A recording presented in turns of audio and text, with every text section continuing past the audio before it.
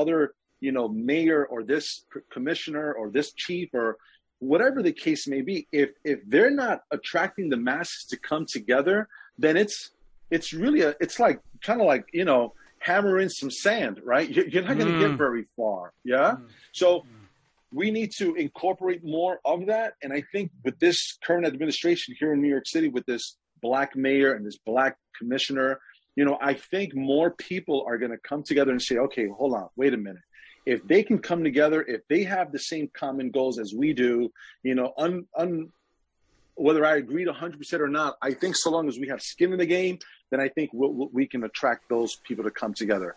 And I think yeah. that's what's been missing, you know? Yeah, I, I, really, you know, I think, eh, not to oversimplify it, but leadership can fuck up anything and leadership can solve anything.